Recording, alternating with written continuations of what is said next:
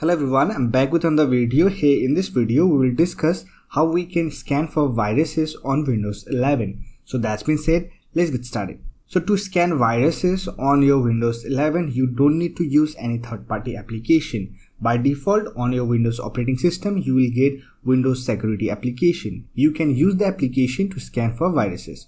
Now for that, simply on the search option, search for Windows Security and open this application. So here we have our Windows Security interface. Now to scan for viruses, simply click on this viruses and threat protection. If you don't get this option, you can simply click on this menu icon to get the option. Here you will find quick scan button. So if you want to scan your common files, then you can simply click on quick scan.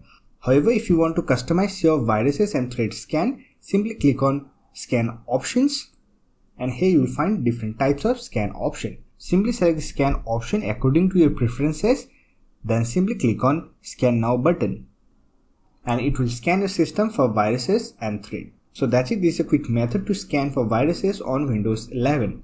I hope this video was helpful to you. If you found this video helpful, don't forget to hit that like button and subscribe to the channel for more videos like this. Bye for now. See you next video.